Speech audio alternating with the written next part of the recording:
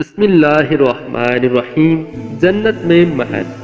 خاتم النبیین صلی اللہ علیہ وآلہ وسلم کا فرمان ہے جو شخص صورت الاخلاص یعنی ساری صورت کل ہو اللہ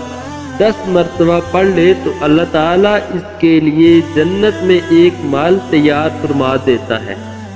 اور بیس مرتبہ پڑھے تو دو محل اور تیس مرتبہ پڑھنے والے کے لیے تین محل